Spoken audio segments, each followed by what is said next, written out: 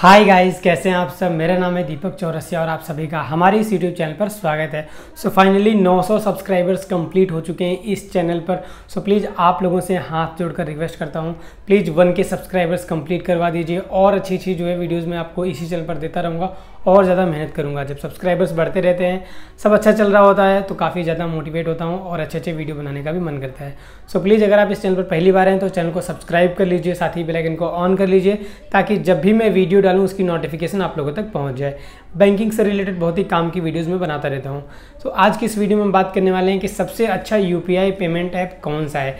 आज के टाइम पर काफ़ी सारे यू पी ऐप्स जो है आ गए हैं। फ़ोनपे गूगल पे पेटीएम और अपना जो है बैंकिंग के खुद के अपने अपने जो है ऐप्स होते हैं। तो इन सब में आपको कौन सा ऐप का इस्तेमाल करना चाहिए, वो मैं आपको इस वीडियो में बताने वाला हूँ। सो वीडियो एंड तक ज़रूर देखिएगा और वीडियो अगर पसंद आए तो वीडियो को लाइक ज़रूर कीजिएगा। यहाँ पे मैं सारे यूज़ कर चुका हूँ और अभी भी मैं क्या यूज़ करता हूँ, वो मैं आपको बता देता हूँ सबसे पहले। तो मेरा अकाउंट है कोटक महिंद्रा बैंक में। उनका एक ऐप है कोटक 811 वाला। वो मैं सबसे ज़्यादा यूज़ करता हूँ, क्योंकि उसकी सर्विसेज़ मुझे बहुत ज़्यादा पसंद है। मुझे अगर कहीं पैसे भेजने होते हैं तो मैं डायरेक्ट अपने अकाउंट से उसमें जो है भेज देता हूँ। अगर आप अकाउंट से अकाउंट में भेजना चाहते हैं तो आपके लिए जो है उनका जो ऐप होता है, सभी बैंकों का आजकल आ गया है मेरे हिसाब से तो वहाँ से आपको बहुत ही ईजिली जो है पैसा आपका ट्रांसफ़र हो जाएगा। इसमें सबसे जो अच्छी चीज़ मुझे ये लगती है, मान लीजिए अगर आप जो है पैसा किसी को भेज रहे हैं अपने अकाउंट से दूसरे अकाउंट में और आप किसी ऐप से भेज रहे हैं तो अगर कभी पैसा नहीं जाता तो रिफंड जो है इमीडिएटली आ जाता है। अगर नहीं आ जाता है तो आप डायरेक्ट बैंक में जा जाके जो है कंप्लेन कर सकते हो कि मेरा पैसा फंस गया है। लेकिन सेम चीज़ अगर आप कर रहे हैं पेटीएम से फ़ोनपे गूगल पे से, कई बार मैंने देखा है जो पेमेंट जो है वो फंस जाता है। मेरे साथ भी हुआ है और वो रिफंड आने में काफ़ी टाइम लग जाता है, तीन से पाँच दिन तक लग जाता है। ऐसे में अगर आपको जो है बहुत अर्जेंट आपका पैसा था और वो आपका रिफ़ंड नहीं आ रहा टाइम पे तो ये काफ़ी ज़्यादा दिक्कत वाली बात हो जाती है। तो इसलिए मैं अपना जो है अकाउंट से अकाउंट में अगर किसी को पैसे ट्रांसफ़र करने होते हैं तो सबसे बढ़िया मुझे जो लगता है, वो बैंक का खुद का ऐप लगता है। अभी मैं जिससे कोटक महिंद्रा बैंक यूज़ करता हूँ तो उसका ऐप है। तो अगर आप कोई भी बैंक यूज़ कर रहे हैं, आप यूनियन यूज़ कर रहे हैं तो उसका भी इनका ऐप आता है, वो भी बहुत ही अच्छा है। तो उससे भी आप ट्रांजेक्शन कर सकते हो। एचडीएफसी का भी ऐप आता है। योनो अपना एसबीआई का भी आता है तो सबके अपने अपने ऐप्स होते हैं।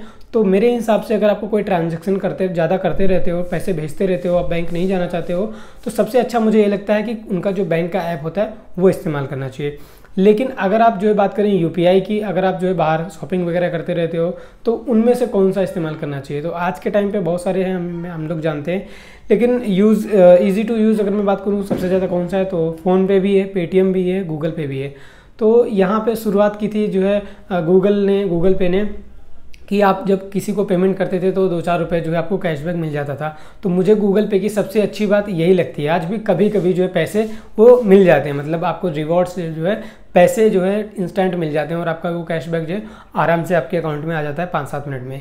लेकिन ये चीज़ अब ना तो फ़ोन पे करता है, ना ही पेटीएम करता है। तो ये चीज़ मुझे बहुत ही खलती है कि मतलब वो ऐसे रिवॉर्ड्स देते हैं आप लोगों को, जिनको आप और पैसे लगा के खर्च करोगे, तब जाके वो आप जो है क्लेम कर सकते हो। कोई मतलब किसी जोमेटो का दे दिया या किसी और का दे दिया ऐसे ऐसे ब्रांड्स का देते हैं जो आप खरीदते भी नहीं होगे। तो यहाँ पे थोड़ा जो है मतलब लगता है कि इससे अच्छा कुछ और मिला होता। है तो अगर आप जो है चाहते हो कि आप UPI करो और आपका जो कैशबैक है या फिर रिफ़ंड है, अपना जो रिवॉर्ड्स है, वो अगर आप लेना चाहते हो तो मेरे हिसाब से गूगल पे बेस्ट है। अगर आप इन सब चक्करों में नहीं पढ़ना चाहते हो तो आप जो है फ़ोन पे भी इस्तेमाल कर सकते हो पेटीएम का भी यूज़ कर सकते हो। सारी चीज़ें आजकल जो है सभी जो है यूपीआई ऐप्स पे आ गई हैं, चाहे आपकी टिकट बुकिंग हो या फिर आप जो है पैसे कहीं ट्रांसफ़र करना चाहते हो। क्यूआर कोड आजकल इतने ज़्यादा आ गए हैं तो कोई भी क्यूआर कोड आप स्कैन कर दो, सारे ऐप से जो है, सारी तरीके से, अच्छी तरीके से काम करने लग जाता है। तो मेरे हिसाब से अगर मैं पर्सनल अपनी राय दूँ तो अगर आपको ट्रांजेक्शन करना है बैंक टू बैंक तो जो बैंक में अकाउंट है, उस बैंक का ऐप इस्तेमाल कीजिए। और अगर आप ज़्यादा यूपीआई करते हो तो मेरे हिसाब से गूगल पे ज़्यादा सही रहेगा। सिर्फ़ इसका रीज़न एक ही जो मुझे अच्छा लगता है, मैंने आपको बताया कैशबैक वाला। बाकी सभी अच्छे हैं फ़ोनपे भी अच्छा है पेटीएम भी अच्छा है। और अगर आप जो है अपना म्यूचुअल फंड में इन्वेस्ट करना चाहते हो और अगर आप पेटीएम मनी डाउनलोड कर रखे हो तो मेरे हिसाब से सबसे अच्छा पेटीएम ही है। पेटीएम और पेटीएम मनी दोनों आप यूज़ कर सकते हो। अगर आपको पेमेंट हर महीने करनी होती है तो बहुत ही ईजी हो जाता है। बाकी यूपीआई आपकी जो आईडी है, वो सब कुछ अच्छी तरीके से चल ही रहा है। सो मेरे हिसाब से अगर आपको जो है कैशबैक वगैरह में टेंशन नहीं है मतलब नहीं उसके चक्कर में पढ़ना चाहते हो तो आप फ़ोन पे भी यूज़ कर सकते हो पेटीएम भी यूज़ कर सकते हो। बट मेरा मानना ये है कि अगर आप जो है कैशबैक चाहते हो, आपका तुरंत आपके जो दो रुपये मिले, पाँच रुपये मिले, जो भी मिले आपको तुरंत मिल जाए, आपके अकाउंट में आ जाए तो गूगल पे मेरे हिसाब से ज़्यादा बढ़िया है। बाकी आप लोग समझ गए होंगे, मैंने जो बताया है बैंक टू बैंक के लिए बैंक का ही ऐप सबसे अच्छा होता है। सो ये वीडियो कैसी लगी? आप नीचे कमेंट करके बता सकते हैं। वीडियो पसंद आए तो वीडियो को लाइक करिएगा। मिलते हैं आप लोगों से अगली वीडियो में, तब तक के लिए बाय बाय